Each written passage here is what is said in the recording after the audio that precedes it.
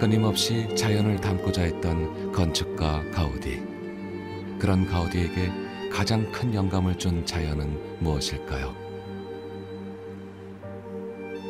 바르셀로나 북서부 도심에서 60여 킬로미터 떨어진 이곳 몬세라트 산입니다. 종교적으로는 예수가 십자가에 못 박히는 바로 그 순간 이곳이 생겨났다는 의미도 담고 있습니다. 그만큼 카탈로냐 지역 최대의 성지로 이 지역 신앙의 한 축을 이루고 있습니다.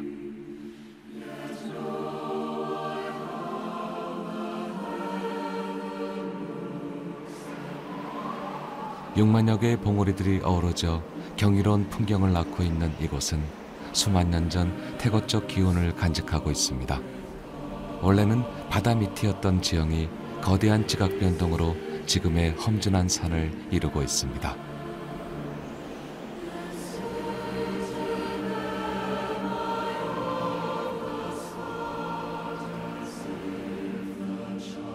신앙심이 깊었던 가우디는 틈이 날 때마다 이곳을 자주 찾았습니다.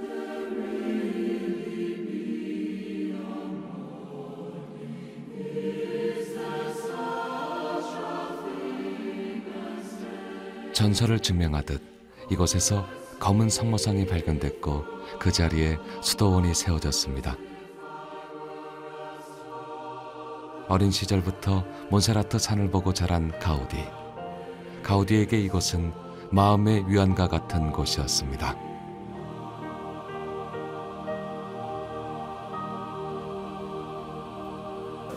Los estudiosos explican que para Gaudí la naturaleza, la creación, eh, significaba la perfección de las formas y la perfección, digamos, de las estructuras. Uh, para él como arquitecto, su ideal era reproducir en la arquitectura la creación, eh, significaba la perfección de las formas y la perfección, digamos, de las estructuras. Uh, para él como arquitecto, su ideal era reproducir en la arquitectura que él diseñaba las formas y las estructuras de la naturaleza, porque eran las más perfectas y porque para él como, como católico la naturaleza es, era obra de Dios, por lo tanto expresión de Dios.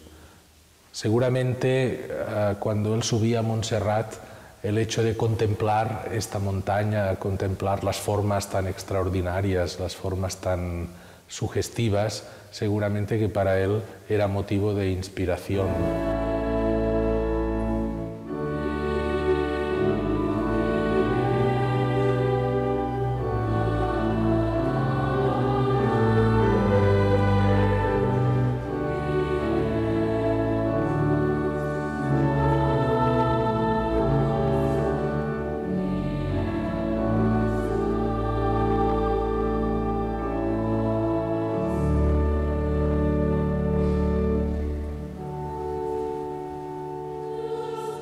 가우디가 추구했던 자연, 그것은 곧 신에게 닿는 것이었습니다. 가우디는 이 몬세라트 산을 바라보며 생애의 역작 사그라다 파밀리아를 구상했다고 전해집니다.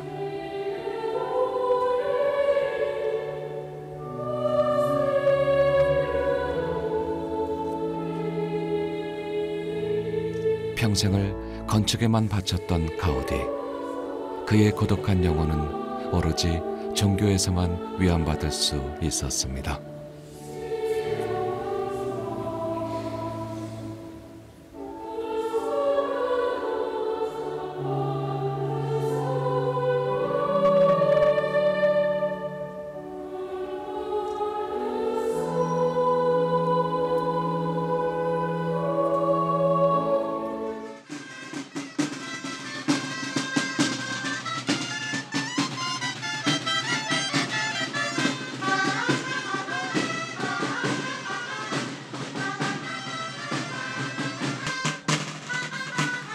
사탕 축제처럼 시작되는 이것은 스페인 카탈로니아 지방의 전통 문화입니다.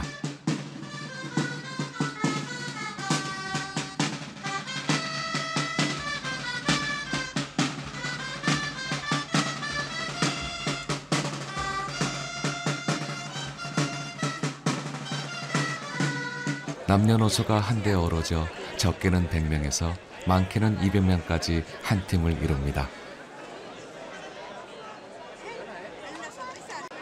사람의 몸을 이용해 탑을 쌓는 인간 탑쌓기입니다. 처음에는 놀이로 시작됐지만 이제는 놀이가 아닌 카탈로니아 지방 사람들의 공동체 의식을 높이는 전통 문화가 되었습니다. 가우디도 어린 시절 이것을 보고 자랐습니다.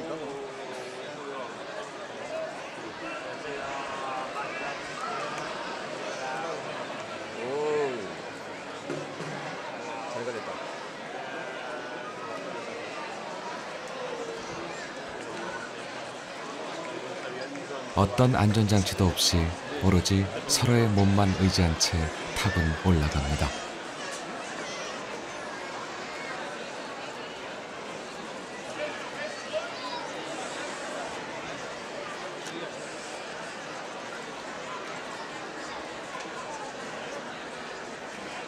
자칫 한 명이라도 실수를 하게 되면 탑이 무너지는 것은 물론 목숨까지 잃을 수 있습니다.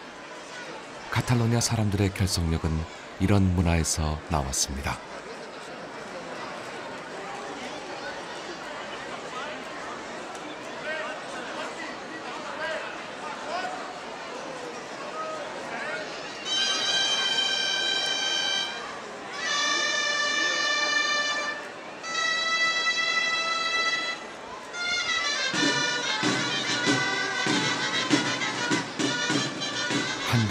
단한단 탑이 올라갈 때마다 모두가 손에 땀을 쥐고 숨을 죽입니다. 이것은 인간이 쌓아 올리는 하나의 경건한 건축입니다. 가우디도 이와 같이 건물을 짓지 않았을까요?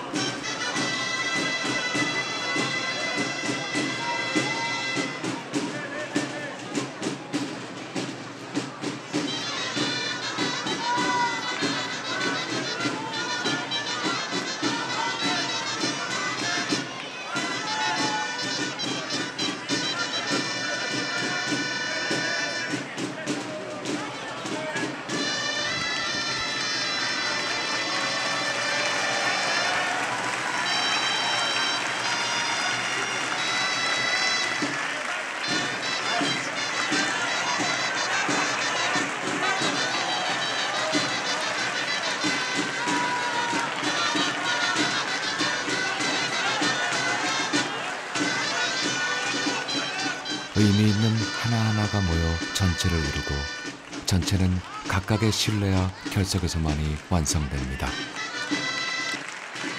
카탈로니아 사람들의 남다른 정신 문화, 그것이 또한 건축가 가우디의 정신 문화였습니다.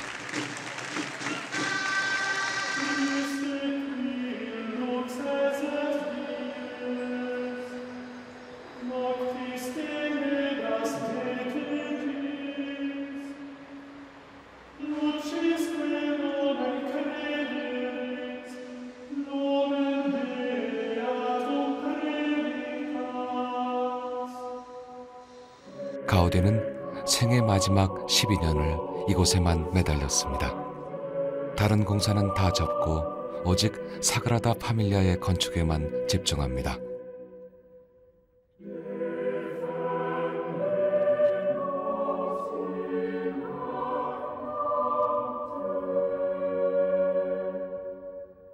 성당의 세면은 예수의 탄생과 죽음, 그리고 부활을 주제로 하는 조각상으로 설계됩니다. 하지만 그 가운데 탄생의 부분만이 그의 손으로 완성됩니다.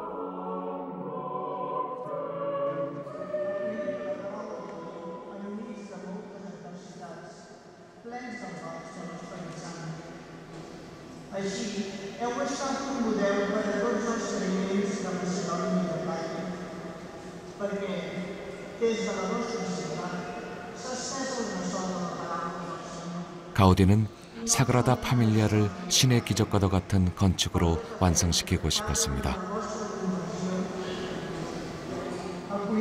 그래서 신의 은총과도 같은 빛이 항상 가득한 편안한 숲과 같은 공간으로 설계했습니다.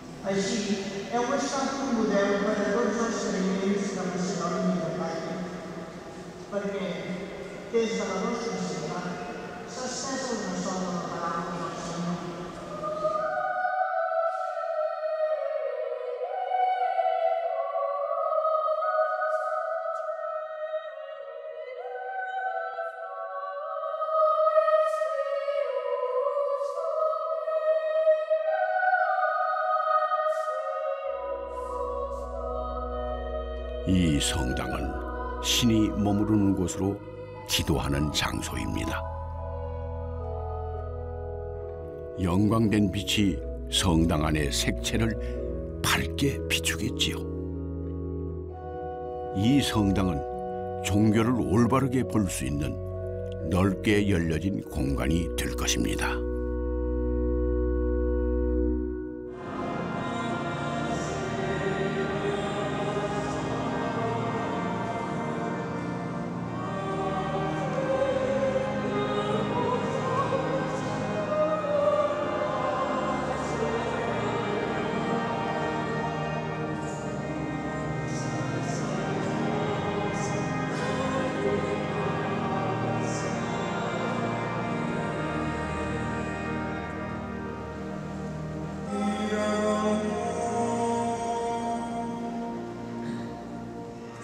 정작 자신은 고독하고 불행했지만 자신이 만든 이곳에서만은 모두가 위안받을 수 있기를 가우디는 기원했습니다.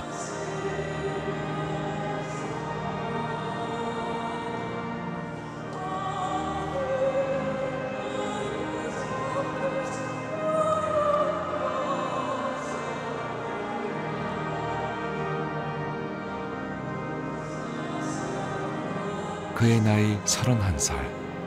첫 공사를 시작하고 43년의 세월을 바쳤지만 가우디는 끝내 사그라다 파밀리아가 완성되는 것을 보지 못했습니다.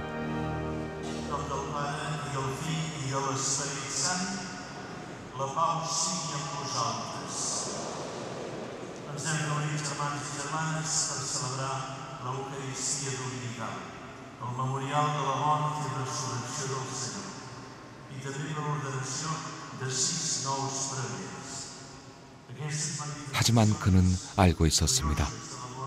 자신은 미완성이었지만 다음 세대, 그 다음 세대에 의해 자신의 꿈이 이어질 것을 알고 있었습니다.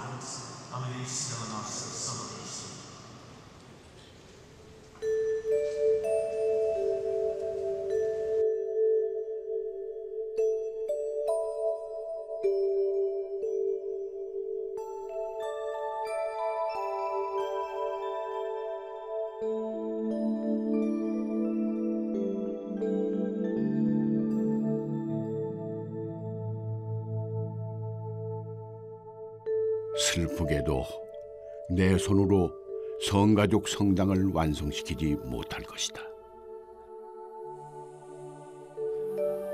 내 뒤를 이어서 완성시킬 사람들이 나타날 것이고 이러한 과정 속에서 성당은 장엄한 건축물로 탄생하리라.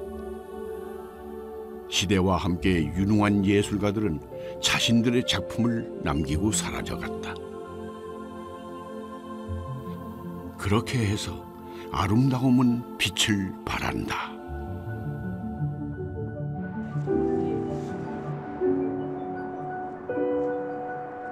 1926년 6월 7일 그날도 가우디는 여느 때와 같이 산 펠립 네리 광장으로 산책을 나섰습니다.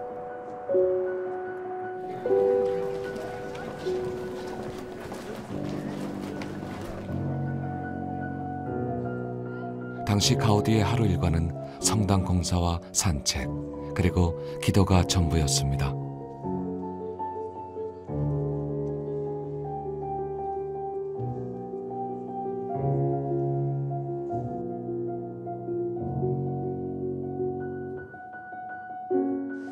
어김없이 그날도 광장으로 가기 위해 교차로를 건너던 가우디. 하지만 그는 마주오던 전체를 미처 보지 못하고 사고를 당하고 맙니다. 초라한 행색에 신원 미상의 행려병자로 병원에 실려온 가우디.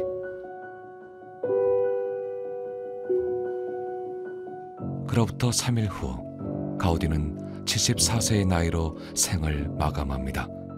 당시 많은 바르셀로나 시민들이 그의 죽음을 애도했습니다.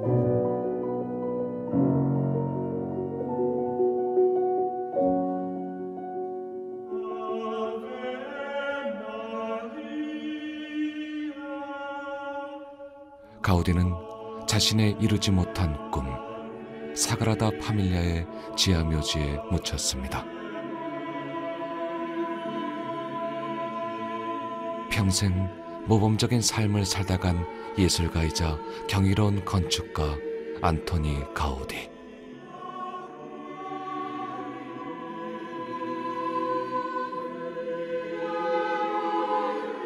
그의 미완성의 생애는 미완성의 작품 속에 영원히 잠들었습니다.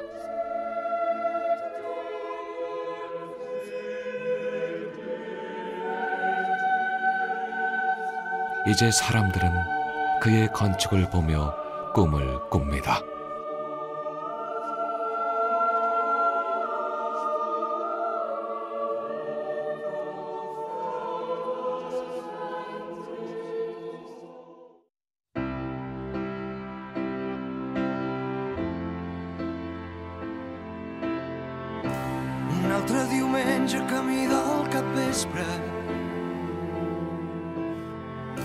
Tan dins del meu món avui penso allò que el temps amaga. Ara ja no és hora. L'ànima que un dia vas ferir es va fer invisible. I no canviaré, no tornaré a mostrar-me feble. Ara ja no és hora